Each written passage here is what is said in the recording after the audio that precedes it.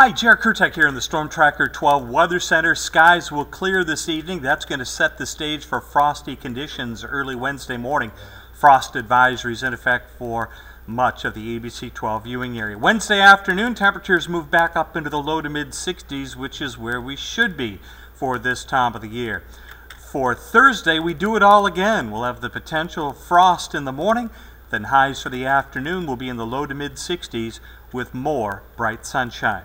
So no surprise here, rain tracker not going to call for any rainfall at all for the next couple of days.